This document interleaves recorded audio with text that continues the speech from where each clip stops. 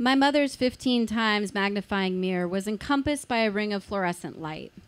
The kind that highlights your imperfection in dressing room mirrors and makes your cellulite look like the cavities of a giant, but still somehow manages to wash out all of your good features.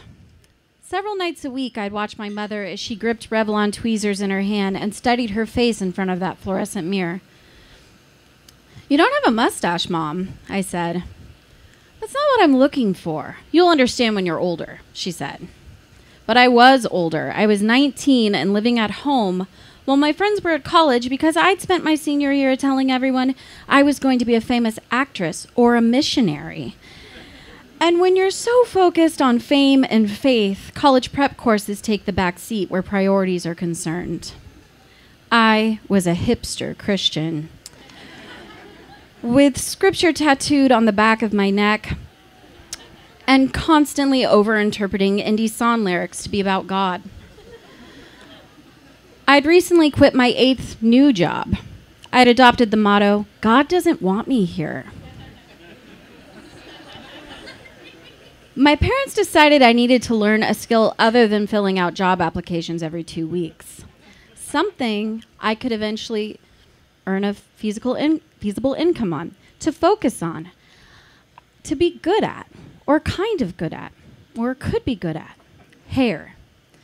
Ever since I was old enough to use scissors made of metal instead of plastic, hair was trial and error for me. I cut my hair, I cut Barbie's hair, I dumped Clorox on my head, and once the blisters healed and I learned all I needed was in a box at the drugstore, there wasn't a single color that didn't saturate this mane. Beauty school didn't seem like a bad idea. It was a direction, a chance to find a career. So I wasn't famous or a missionary, but I could be a hairdresser for Jesus. I'd preach about God's love to my clients and they'd come see me weekly just to hear about my spiritual wisdom. I'd hold baptisms in my rinsing bowl. and I could tell my friends, Oh, really? You're getting a degree in fine arts? I'm studying to be an artist too, a hair and makeup artist. Don't worry, I'll hook you up when you're in town. I'd wink. I made an appointment with the automated system at the Palomar Institute of Cosmetology. You have to take a test in order to enroll basic math, questions that require common sense, and a high school level of critical thinking. Test day arrived. As I walked into the stucco building, the aroma of home perms and old lady perfume infused my nostrils. The woman at the front desk had what I'd refer to as DMV etiquette.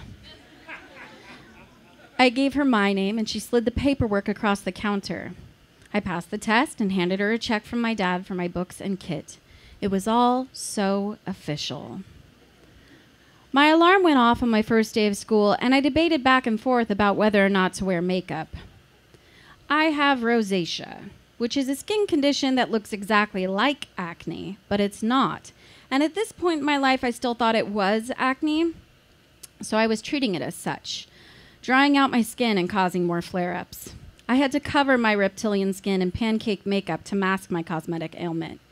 But this was a place where beauty was created. So I dropped my compact and went to school with a blank canvas for a face. After all, I thought, God created me this way. We had the choice between wearing all black or all white, and because wearing all white seemed cult like, I went with the darker option. I arrived early and took a seat near the back of the class. This was going to be so fun. Making friends with people just like me, people with good taste and talent, people that aren't afraid to take risks, people that would come to know Christ through my presence. A portly 30 year old woman entered the room in an ill fitting white lab coat and faded black slacks.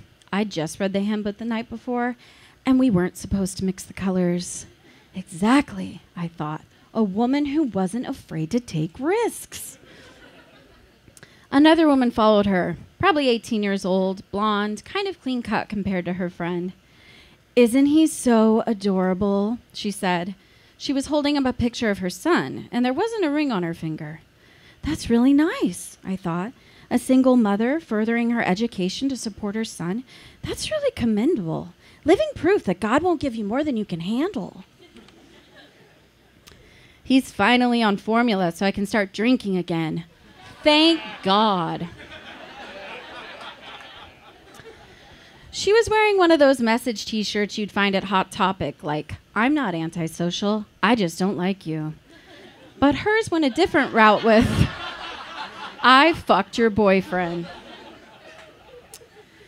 Seeing as though Jesus was my boyfriend, I found this incredibly offensive. I was going to be a hairdresser for the Lord, and this sort of fashion statement was the opposite of what a godly woman would wear. The portly one threw her leg up on a table and stretched. Hey, I can put my leg pretty high up for a fat bitch, she bragged. These women scared me the same way the kids in Saturday school did. Where they were in school for vandalism, and I was in for forging a PE note. I didn't know what would happen. I didn't want to know what would happen if I looked at them the wrong way. The room filled up with several more students. Everyone knew one another. They stood in the middle of the classroom like loitering teenagers, exchanging inside jokes. No one introduced themselves to me. Lunchtime arrived, and nearly the entire class made a plan to head to Carl's Jr. together. I made a plan to eat alone in my car, and I did. I apathetically chewed on a PB&J. My little born again Christian bubble had completely burst. I never got to talk about Jesus. I wiped the tears from my eyes and said a little prayer. Give me a sign.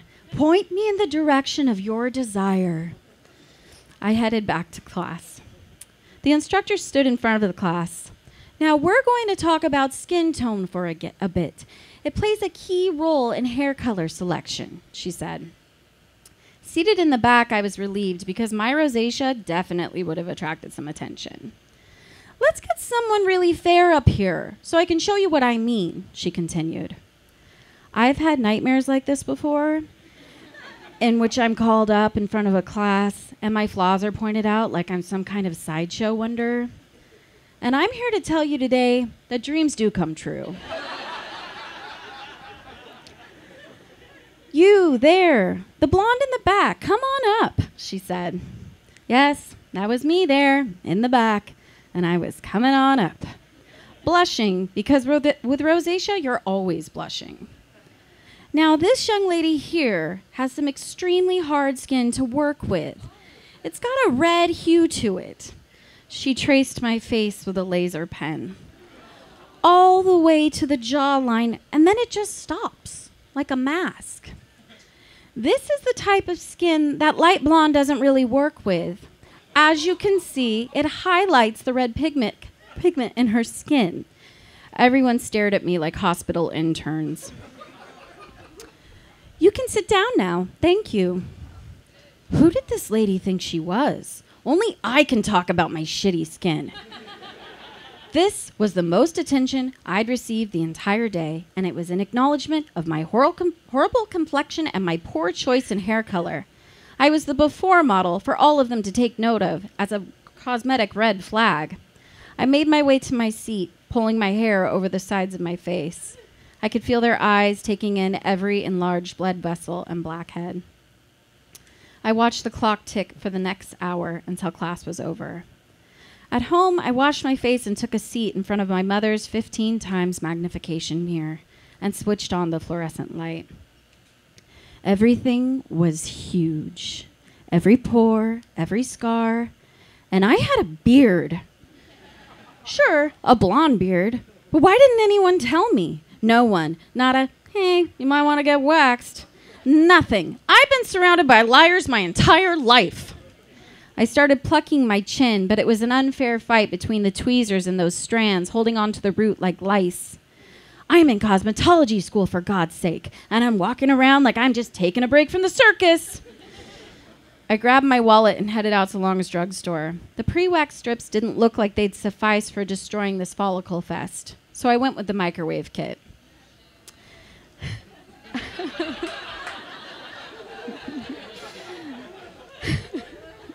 After a few minutes in the microwave and a prime seat in front of the magnification mirror, I was ready to take control of this peach fuzz on steroids. I painted my chin with the hot wax and pressed a strip over it. I'd always gone by the rule that if it burns, that means it's working. and this was really working. I counted down and ripped it off. It felt like a swarm of fire ants were attacking my chin. I looked in the magnification mirror. Whisker free. Yep. All of that unwanted hair was gone. But so was my skin. I couldn't even see hair on the wax strip, just a fleshy replica of a fruit roll up. I'd spent years bathing my face in alcohol based face wash, drying out what I thought was acne. And when that hot wax hit my dry skin, it was like a supercharged carrot peeler. I saturated my face with Neosporin and took a double dose of ibuprofen to make the swelling go down. My alarm went off, and I hesitantly looked in the mirror. No hair, but I had what looked like a chin strap rash without the athletic excuse. I put the pancake makeup all over, but it just looked like powdered blisters. There's no hiding it. And I didn't want my skin turned into an example of imperfection again. And with the way I screwed this procedure up, I couldn't possibly re- be responsible for other people's hair. I pulled into the parking lot, headed to the front desk, and placed my kit on the counter. I'd like to withdraw from the program, I said. That same charming woman slid the paperwork across the counter and after I signed it, she ha- signed it, she handed me a refund. I was a beauty school dropout, heading home to look up remedies on the internet, hoping to make my skin heal faster. I was back at square one, ready to start filling out job applications again.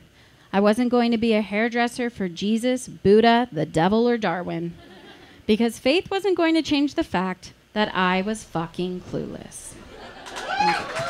Esther Woodman.